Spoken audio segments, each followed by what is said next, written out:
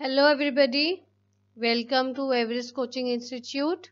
Today, we will discuss class 7th science. हम बेटा, ये चैप्टर 15 जो है लाइट का हम डिटेल में डिस्कस कर चुके हैं आज की वीडियो में हम इसके एनसीईआरटी क्वेश्चन आंसर्स डिस्कस करेंगे ठीक है तो चलो शुरू करते हैं now the question number one comes fill ups है फिल इन द ब्लैंक्स है तो पहला है an image that cannot be obtained on a screen is called जिसकी इमेज स्क्रीन पे नहीं बनती उसको हम बोलते हैं वर्चुअल इमेज ठीक है second is image form by a convex dash is always virtual and smaller in size convex mirror ठीक है an image formed by a dash mirror is always of the same size as that of the object जो plane mirror में जैस जित, जित जिस size का object होगा उसी साइज़ की उसकी इमेज होगी। तो आंसर इसमें क्या आएगा फिलअप में? प्लेन ठीक है? D is an image which can be obtained on a screen is called a dash image जो स्क्रीन पे किसी भी स्क्रीन पे इमेज आ सकती है उसको हम कहते हैं real image and the last comes An image formed by a concave dash cannot be obtained on a screen. concave lens से हम जो उसकी इमेज है, वो हम ऑब्जेक्ट की स्क्रीन पे नहीं ला सकते। कैन नॉट बी ऑप्टेन तो इसका आंसर का कनकेव के आगे आएगा लेंस आएगा। नंबर टू इसमें बेटा ट्रू फॉल्स है। अगर ट्रू है स्टेटमेंट तो टी लिखना है, अगर फॉल्स है स्टेटमेंट तो एफ़ लिखना है, ठीक है? तो फ़र्स्ट है we can obtain an enlarge and erect image by a convex mirror no false F आएगा a concave lens always form a virtual image true we can obtain a real, enlarged and inverted image by a concave mirror. True. D is a real image cannot be obtained on a screen. Real image तो आ जाते हैं screen के पर virtual image नहीं आती so it is false. And last comes a concave mirror always form uh, forms a real image.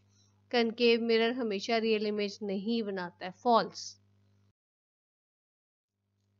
So the question number three is Match the items given in columns, column one with one or more items of column two अभी देखो, इसमें matching है, पर ज़रूरी नहीं है कि column one का एक जो आइटम है, वो कॉलम टू के एक आइटम से मैच करेगी। हो सकता है वो दो या तीन से भी मैच करे। ठीक है? सो फ़र्स्ट है अ प्लेन मिरर इसमें आपको दोनों कॉलम्स की पहला आइटम्स आपको पढ़नी पड़ेंगी कॉलम टू की स्पेशली पहले है फ़र्स्ट इज़ प्लेन मिरर तो प्लेन मिरर का आंसर क्या आएगा? एंड इमेज फिफ्थ आएगी image is erect and of the same size of the object जो प्लेन मिरर की इमेज है, वो जैसा हमारा ऑब्जेक्ट होता है, वैसे ही हमारी इमेज बनती है। Then come second is convex mirror convex mirror में देखो बेटे, हमारी दो आ जाएगी। Can form image of objects spread over a large area option 2 or option 6 the image is erect and smaller in size than the object ठीक है then comes C convex lens convex lens का एक ही option आएगी that is option 1 used as a magnifying glass then comes op, uh, uh, D है uh, concave mirror उसकी option 3 आएगी टास्ट use by dentist to see an large image of the teeth concave mirror से ये होता है, छोटी चीज़ आपको बड़ी दिखती है। Then comes last concave lens concave lens की ऑप्शन आएगी हमारी option six the image is erect and smaller in size then the object concave lens हमारे रेयर व्यू में वो होते हैं ना रेयर व्यू साइड व्यू जो हमारे होते हैं मिरर्स होते हैं, उसके बीच में लेंस जो हमारा लगा होता है, वो बेसिकली ये देख, चीज़ें देखने के लिए होता है। ठीक है? Number four state the characteristics of the image formed by the plane mirror plane mirror आप लुकिंग ग्लास में कोई ऑब्जेक्ट देखते हो, उसका फीचर्स बताने आपने। तो उसके फीचर्स क्या हैं? The image form by the plane mirror is erect सीधी नज़र आती है वर्चुअल होती है of the same size as the object same size की होती है, बड़ी छोटी नहीं होती। Then formed at the same distance behind the mirror as the object is in front of it जितने पीछे ऑब्जेक्ट मतलब जितने पास ऑब्जेक्ट होगा मिरर के, उतने ही डिस्टेंस पे आपको इमेज नज़र आएगी। ठीक है, ये उसके फीचर्स हैं प्लेन मिरर में। Question number five question number five है find out the letters of English alphabet or any other language known to you in which the image formed in a plane mirror appears exactly like the letters itself. Discuss your findings. वो कहता है English में या किसी भी और language में आपने देखना है जैसा आपको ऑब्जेक्ट आप अल्फ़ाबेट दिखा रहे हो या लेटर दिखा रहे हो वैसे ही वो उसमें बन रहा है आपके प्लेन मिरर में आपकी इमेज बन रही है। किसी भी लैंग्वेज का हो सकता है। तो आपकी सिंप्लिसिटी के लिए आपके लेवल पे मैं इंग्लिश अल्फ़ाबेट की ही बात करूँगी और उसने बोला अपनी दिस फाइंडिंग्स को डिस्कस करना है। तो ये जो हम फाइंडिंग डिस्कस करेंगे, वो मैं आपको ओरली करूँगी, ठीक है? तो अब ये देखो इसके आंसर में क्या है।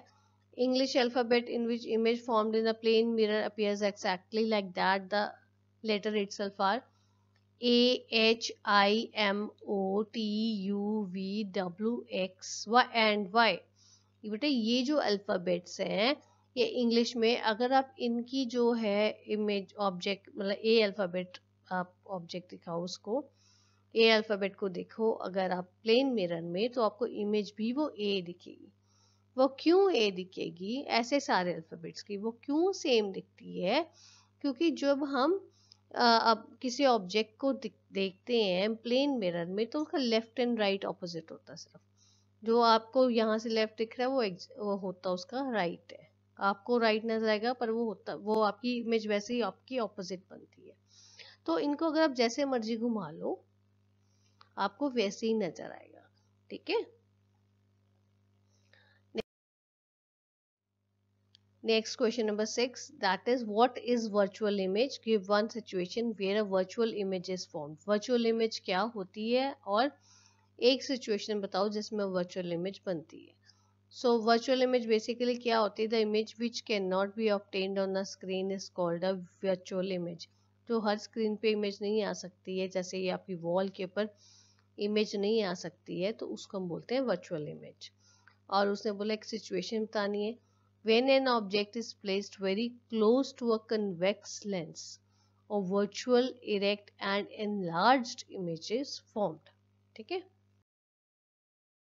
now come to question number seven state two differences between convex and concave lens convex और कनकेव लेंस में हमने डिफरेंस बताना है और इसमें आपके उन्होंने क्वेश्चन में सीधा टू पूछा है तो आपने टू ही बताने हैं ठीक है मैंने आपको जब ये डिस्कस किया था कनकेव और कन्वेक्स लेंस का डिफरेंस तब मैंने आपके फाइव पॉइंट्स आपके साथ डिस्कस किए थे। बट इस क्वेश्चन के आंसर में हम सिर्फ़ कोई भी दो लिख सकते हैं उनमें से ओके तो डिफरेंस क्या है?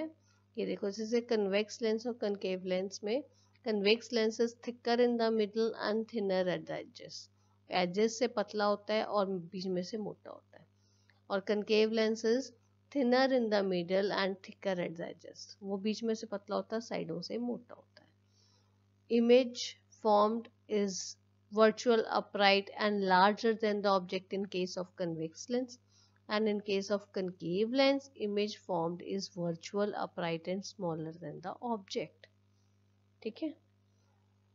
आप इसमें सिर्फ़ दो ही कोट करो। ज़्यादा करने की ज़रूरत नहीं है, क्योंकि फिर आपकी नेगेटिव मार्किंग होने के चांसेस है।